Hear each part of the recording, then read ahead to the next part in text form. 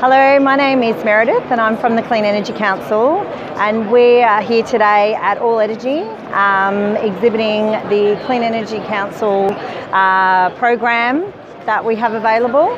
So there's um, three streams that we offer. So we've got um, our member services, uh, we've got our approved solar retailer program, and then finally we've got um, a program that we run for accredited installers as well.